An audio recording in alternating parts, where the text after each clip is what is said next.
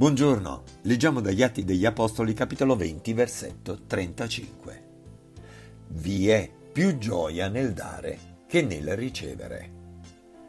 Prendi l'iniziativa. Quando il buon samaritano vide l'uomo ferito che il sacerdote e il levita avevano ignorato, prese l'iniziativa e cambiò i suoi programmi per aiutarlo. Gesù concluse la parabola dicendo, Va e fa anche tu la stessa cosa. Luca capitolo 10 versetto 37. Sam Walton, il fondatore di Walmart, insegnò a tutti i suoi dipendenti la regola dei tre metri. Questa dice così. Prometto che ogni volta che mi troverò nel raggio di tre metri da un cliente, lo guarderò negli occhi, lo saluterò e gli chiederò se lo posso aiutare.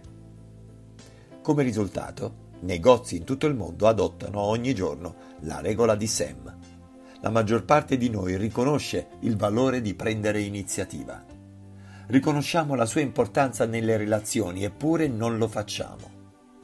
Aspettiamo che sia l'altro a fare la prima mossa, ma questo ci fa perdere delle opportunità. Il pastore Malcolm Bain osservò: Se aspetti fino a quando potrai fare tutto per tutti, invece che qualcosa per qualcuno, finirai per non fare niente per nessuno. Se intendi seriamente aiutare gli altri e vuoi camminare nella benedizione di Dio, non aspettare. Inizia. Il momento perfetto arriva raramente. Un vecchio proverbio ebraico dice, il saggio fa subito ciò che lo stolto fa all'ultimo. Iniziare una conversazione spesso ci mette a disagio Offrire aiuto significa rischiare un rifiuto. Dare agli altri può portare ad un fraintendimento. Non ti sentirai pronto a tuo agio in quei momenti.